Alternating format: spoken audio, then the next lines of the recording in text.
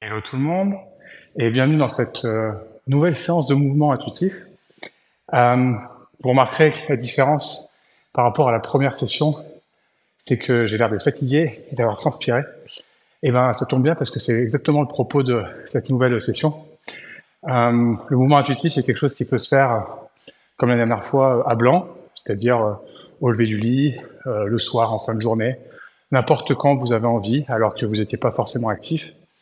Et ça peut aussi être euh, parfaitement euh, adapté à le faire après une séance d'activité, après une séance de mouvement, de sport, de danse, de boxe, tout ce que vous voulez. Donc si jamais vous avez lancé cette euh, session alors que vous n'avez pas encore été actif, je vous invite à rebasculer sur la première vidéo qui était juste avant. Et pour ceux qui du coup ont fait une activité, eh ben on va pouvoir se lancer. Euh, et pour ceux qui n'ont pas encore fait l'activité, vous pouvez aussi mettre en pause la vidéo, partir courir, partir danser, faire euh, ce que vous avez envie de faire, une, session de yoga euh, de 30 minutes, d'une heure, enfin de quoi être actif et transpirant pour ensuite vous lancer avec nous. Alors pour cette session, comme la dernière fois, je vais vous inviter à, à fermer les yeux. Je suis encore essoufflé. Et je pense que peut-être vous aussi, si vous avez lancé cette session juste après le sport. Et la petite particularité du, mouvement intuitif euh, après une activité physique, c'est que normalement vous êtes euh, déjà beaucoup plus connecté avec votre corps. Et donc c'est intéressant de fermer les yeux, de se reconnecter sur la respiration et de faire un peu un scan de la tête jusqu'à vos pieds pour voir comment est-ce que justement vous êtes connecté avec les différentes parties de votre corps, avec les cellules qui sont dans vos bras, avec les petites cellules qui sont dans vos jambes, avec vos articulations, vos os, votre respiration aussi. Et peut-être, parce que ça arrive parfois, malgré une activité physique, et donc du coup qui engage le corps et normalement une, une reconnexion avec le corps, peut-être qu'en fait vous allez sentir que vous êtes complètement déconnecté de votre corps, parce que vous avez peut-être fait une activité physique, euh, bah, parce qu'il faut la faire, euh, parce que vous aviez, on va dire, euh, une injonction que vous êtes donnée à vous-même en disant euh, bah, il faut que je fasse du sport, mais vous aviez la tête ailleurs. Vous avez peut-être pensé pendant toute la séance à autre chose. Vous n'avez pas été là, pas été présent. Et du coup, ce qui est dommage dans ces cas-là, c'est que le corps a beaucoup plus de mal à intégrer tout ce qu'il a euh, appris euh, de l'intensité de l'activité, parce qu'en fait, justement, euh, on n'y met pas la conscience. C'est comme si, en gros, en faisant une activité physique, votre corps devait s'adapter, devait comprendre plein de choses, il capte beaucoup d'informations, et que, en n'étant pas présent, et ben en fait, il allait passer à côté d'un bon paquet d'informations. Donc l'avantage de ce type de session, c'est pouvoir se reconnecter au corps, même si on l'a pas fait avant.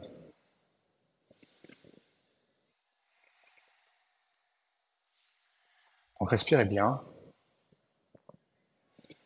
et essayez de sentir vraiment le détail dans chacun de vos, de vos doigts,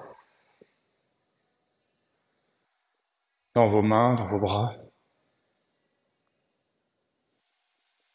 Sentir s'il y a des fatigues, justement, après l'activité, dans certains muscles ou sur certains, certains ligaments, certaines articulations. Pouvez aussi sentir une sensation de bien-être qui vient de, de l'endorphine et des autres hormones qui sont sécrétées après le sport. Sentir son rythme cardiaque aussi ralentir.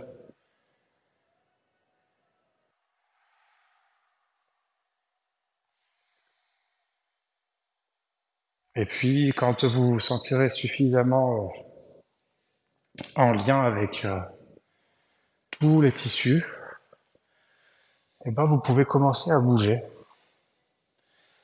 Tout en restant au sol, parce qu'on a aussi envie de se reposer de l'activité, et bouger de manière justement complètement intuitive, c'est-à-dire que si vous sentez qu'il y a certaines tensions dans le dos, par exemple, pouvez faire des vagues très organiques pour venir chercher à, masser, comme ça vous le massez de l'intérieur, ou à étirer aussi. Et donc, des mouvements assez classiques, mais qui font vraiment du bien, c'est de faire le dos rond, comme je fais juste là, et d'alterner en inspirant une cambrure vers l'avant, et on peut même tirer sur les genoux. Et ensuite replonger vers son intérieur en soufflant. Et puis retirer aussi. Ça reste très linéaire et très rangé, mais on n'est pas forcément en train de faire du yoga. Donc si vous avez envie de venir faire des, des torsades,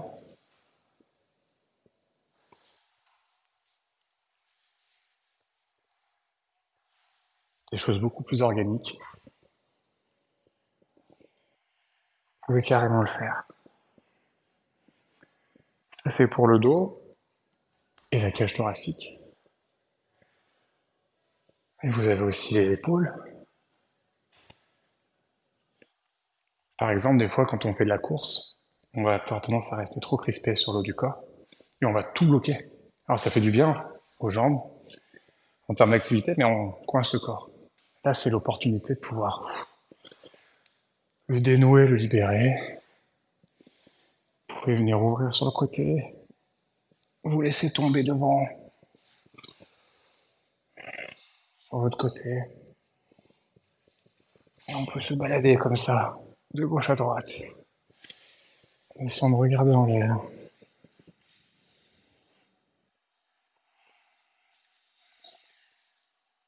Et l'important, c'est que tout ce que je vous partage là, c'est ce qu'il y a sur le moment. C'est de l'improvisation, il n'y a pas de, programme prédéfini.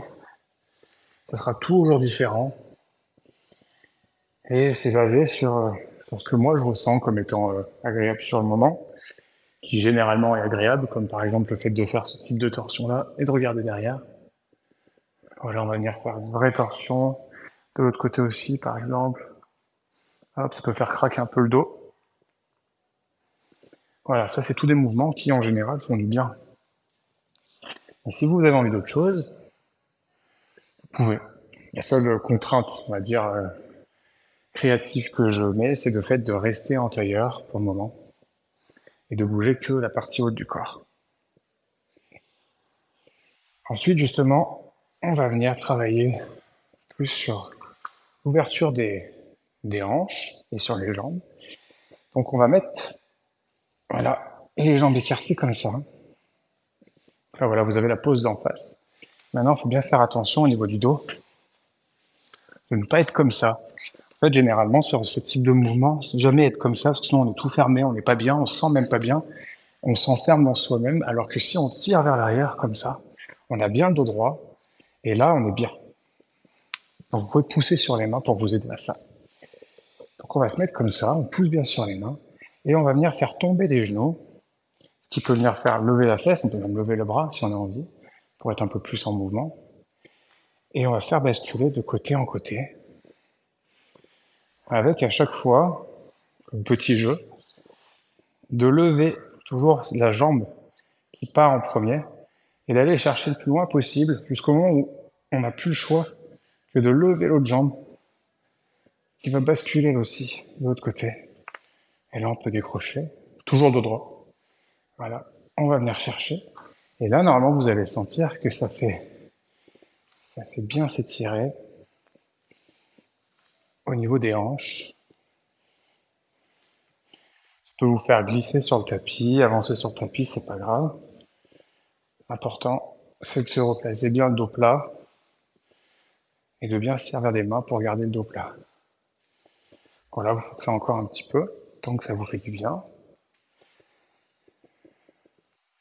Et puis ensuite, on va se remettre face bien comme il faut, et on va venir plonger ce côté droit. Là, vous voyez, mes jambes ne sont pas exactement en angle droit, donc je vais venir corriger un petit peu. L'idée, c'est d'essayer d'avoir les jambes en angle droit. Généralement, on peut tenir, voilà, sans avoir à servir de ses mains. Et là, l'idée, pareil, toujours sur une logique d'intuitif, on va venir faire des petits mouvements pour sentir où est-ce qu'on a besoin de venir étirer. Des fois, on a besoin de s'appuyer sur cette hanche-là pour venir travailler cette ouverture. Des fois, ça va plutôt être se pencher sur cette jambe pour travailler l'autre côté. des fois, ça va être venir se tordre pour travailler encore des torsions. Voilà, vous faites un petit peu des choses comme vous le sentez. Et puis ensuite, ensemble, ce qu'on va faire, c'est qu'on va venir planter les mains pile en face de la jambe, ici. Et puis on va se laisser descendre sur cette jambe. On devrait se sentir s'étirer au niveau du fessier de la fessier droit. Voilà. On peut remonter un petit peu. On peut aussi se tenir au niveau du pied. Ça fait du bien. Voilà. On garde bien l'angle droit. On remonte. On redescend. On remonte. On peut faire des vagues comme ça. Ça va étirer le dos. Ça va étirer les hanches. Ça fait du bien.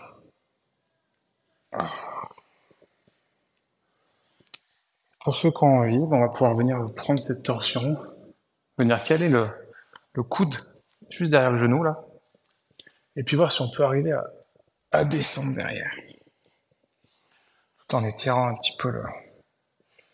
Alors, on va essayer de tourner le plus possible, comme si on voulait venir rabattre cette hanche sur le sol, et ça va venir étirer tout le dos dans la torsion.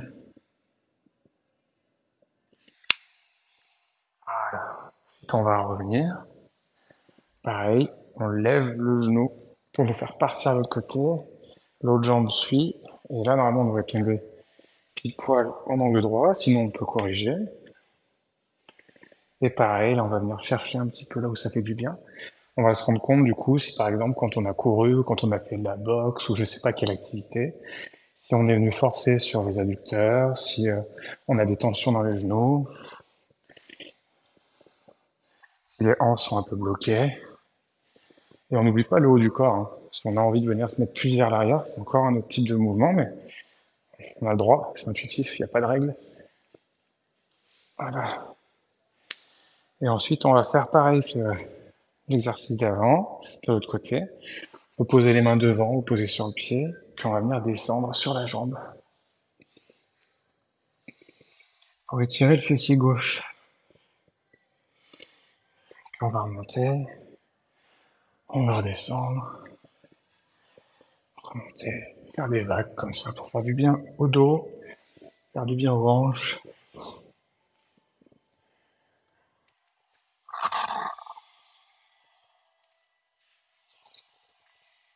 N'oublions pas d'inspirer et de souffler quand on descend.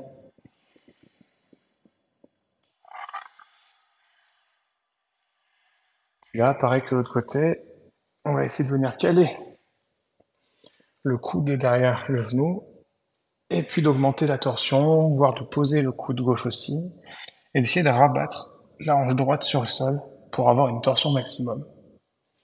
Voilà, ceux qui peuvent descendre encore plus bas, descendez plus bas si ça vous fait du bien. Ce qui compte, c'est vraiment de sentir la pleine torsion au niveau des hanches et du bas du dos. Voilà, ensuite on peut revenir. On va essayer de faire sans les mains, parce que c'est sympa aussi. De venir tenir au sol, et on remonte là, et au bout d'un moment, tout va se lever. Et on peut du coup remettre les mains et refaire quelques petits mouvements pour, pour détendre. Voilà. Ensuite, on va venir planter les pieds. Et normalement, Hop, on va pouvoir se mettre en squat. Voilà, si jamais vous avez du mal, comme à chaque fois, vous pouvez plier le tapis si vous avez un tapis, mettre des petits livres ou des magazines sous les jambes ou des serviettes pour vous faire des talonnettes, rehausser un peu les talons, va vous permettre de rester en squat. Voilà, n'hésitez pas à venir pousser avec vos coudes sur vos jambes, à, bien tendre le dos, relever le crâne tenir en squat. Parce que ça, après n'importe quel type de sport, ça fait du bien. Et je veux bien faire des petites bascules comme ça.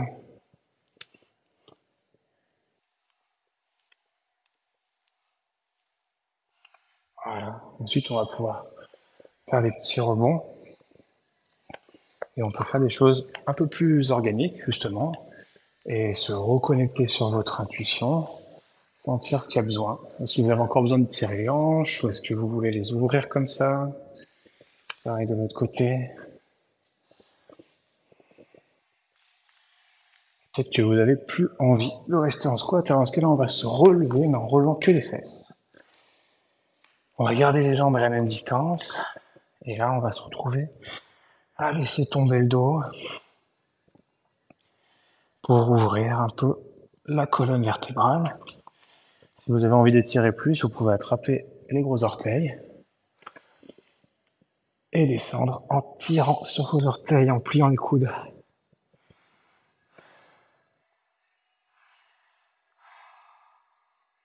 En soufflant bien.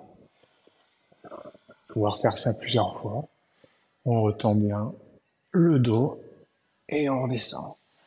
Moi j'aime bien aussi des fois venir un peu tirer derrière les chevilles en gardant les jambes tendues. Et si jamais les jambes tendues c'est trop euh, rigide, vous pouvez aussi plier entre les, les genoux.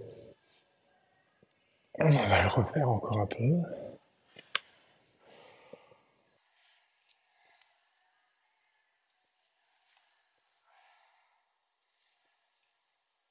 Voilà, on va se remettre en squat.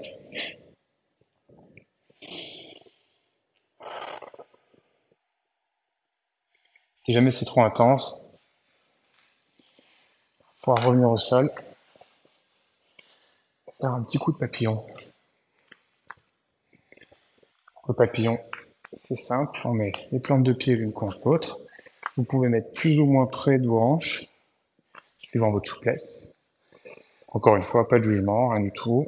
Juste ce que votre corps a envie, parce que l'idée c'est d'avoir vraiment une conversation avec lui plus qu'avec moi. Si votre corps a envie d'être prêt, descendre beaucoup, ben vous pouvez. Mais là l'idée c'est pareil, c'est de se laisser, euh, se laisser un peu aller vers l'avant pour étirer le bas du dos. Vous pouvez tirer un peu sur vos, sur vos pieds. Vous pouvez appuyer avec vos coudes aussi sur les jambes si vous voulez ouvrir plus, suivant ce qui vous fait le plus de bien. Vous pouvez vous balader aussi de droite à gauche comme ça.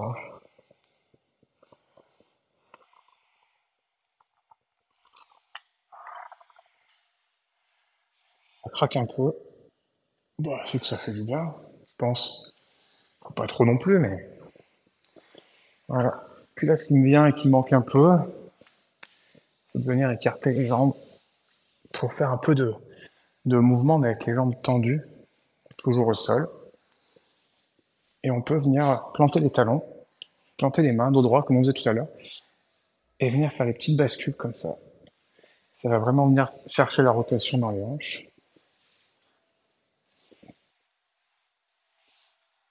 Vous pouvez tourner plus ou moins la main suivant ça vous fait du bien ou pas.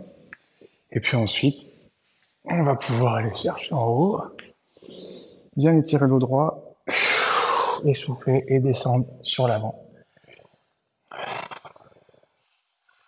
Certains auront peut-être besoin et envie d'aller chercher les talons, ou d'aller plutôt chercher un côté, ou d'aller plutôt chercher l'autre.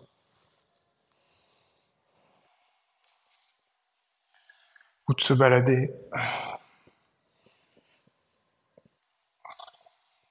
Ce qui compte, c'est toujours se dire qu'on essaie d'avoir le dos qui reste droit. Et après, on peut, on peut naviguer. Comme ça, en fait, on, on crée un vrai équilibre de rotation. Donc euh, les hanches servent à faire des rotations. Ça étire en même temps les jambes. Et le dos restant bien droit, on ne se retrouve pas à faire n'importe quoi qui peut nous, faire des blocages plus qu'autre chose.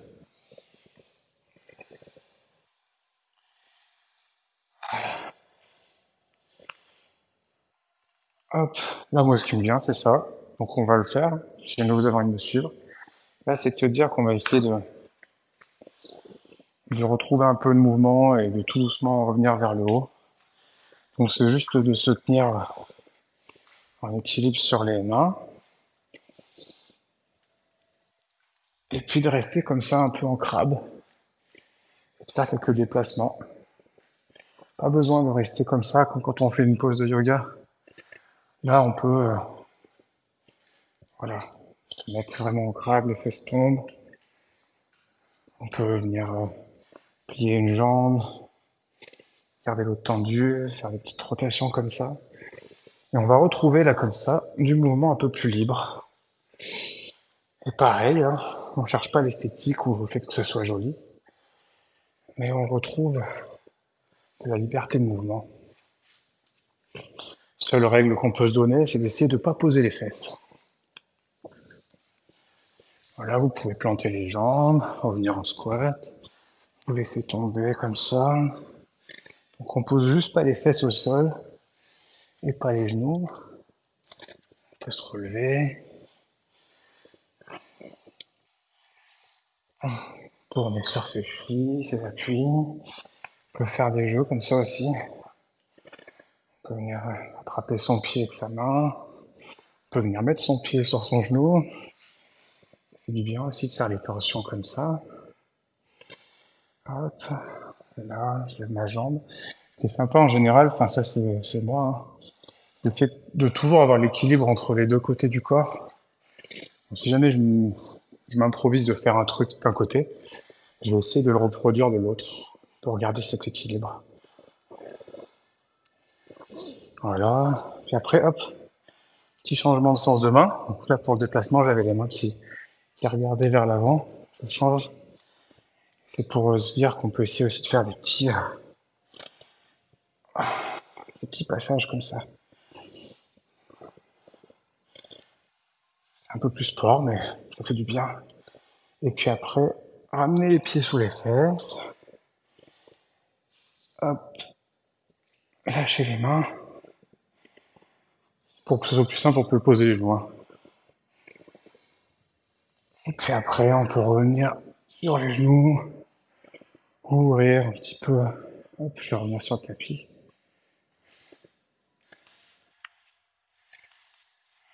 On retrouve la position sur les genoux, ouvrir vers le haut, ouvrir la cage thoracique. Si on a envie, on peut venir faire la pause camel pose en anglais. Je sais pas en français. La pose du dromadaire Pose du chameau. Voilà. L'idée c'est encore d'alterner entre dos rond. On peut se relever, on tend les bras. Bras à l'équerre, tomber à l'arrière, ça fait du bien. Et revenir. Voilà.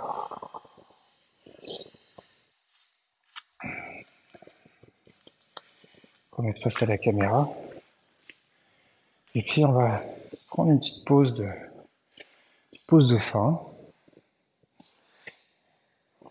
Alors fin pour moi et fin pour euh, cette session guidée, mais peut-être que pour vous ça va durer plus longtemps. En tout cas, l'idée c'est toujours de retrouver un moment de pause, de vide, dans lequel vous allez pouvoir faire un rescan de votre corps, de la respiration, de la tête aux pieds,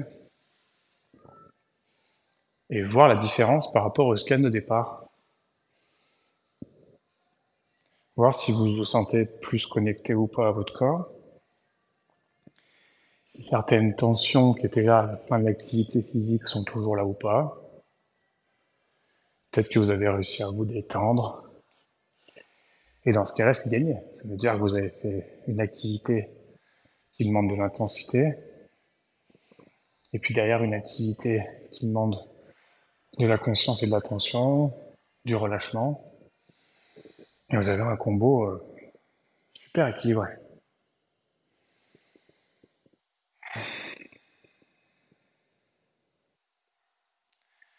On va se faire cinq respirations ensemble, avec un petit timing que je vais compter. Donc tout le monde expire en fond. On va faire ça avec le nez tout le long. Et on va inspirer sur 5 secondes. 2, 3, 4, 5. Petite pause apnée sur 5 secondes. on souffle sur 5 secondes aussi. 2, 3, 4, 5. On va bloquer en bas sur 5 secondes aussi. 2, 3, 4, 5. On inspire sur 5 secondes. 2, 3, 4, 5. On maintient pendant 5 secondes. 2, 3, 4, 5. On expire sur 5 secondes et on rentre bien le ventre en même temps pour que ça soit bien vidé. 4, 5. On bloque en bas. Le ventre bien rentré, les abdos contractés. 3, 4, 5. On inspire sur 5 secondes. Et là, on va bien gonfler le ventre pour bien respirer dans le ventre. 2, 3, 4, 5. On va bloquer en haut, le ventre bien sorti. 2, 3, 4, 5. Et on expire. 2, 3, 4, 5. On bloque bien en bas, on s'assure qu'on a le dos qui est toujours bien droit, la tête qui est toujours bien en train d'aller chercher vers le haut. 3, 4, 5. Et on inspire. 1, 2, 3, 4, 5. Et on bloque en haut. 3, 4, 5. Et on expire à fond. Sans compter, on expire à fond, à fond, à fond. Quand on arrive en bas, on inspire à fond aussi. On gonfle, on gonfle, on gonfle. Si vous voulez faire comme moi, vous pouvez aussi lever les bras pour gonfler aussi avec le corps, tirer, tirer vers le haut. On fait un dernier étirement comme si on se réveillait le matin. On gonfle, on gonfle. Ah, et on relâche, et on relâche tout. On relâche tout et on se met tout mou. On se met tout mou. Tout mou, tout mou. Tout mou au point où on peut tomber sur soi. On tient plus du tout debout. On est comme un mollusque. On a un mollusque complètement détendu. On peut se laisser tomber sur le côté tout doucement. On peut étendre les jambes et on peut bien se mettre dans une position allongée sur le tapis. Voilà. Et là, on se met dans une position où on est bien, où on est complètement relâché. Ah, il n'y a plus aucune tension, plus aucune contraction, il n'y a plus aucune envie. Normalement, à ce stade-là, si vous avez bien écouté votre corps, c'est le moment de la célébration, c'est le moment des remerciements, c'est le moment du câlin, un petit peu avec votre corps. Oui, il vous dit merci, vous, vous lui dites merci parce que ça fait du bien, et où tout le monde est content. Et vous pouvez rester autant longtemps que vous voulez, allongé comme ça sur le sol. Juste à respirer, concentré sur votre respiration, votre corps. Ou pas concentré du tout. Il n'y a plus rien à faire, juste à rester détendu.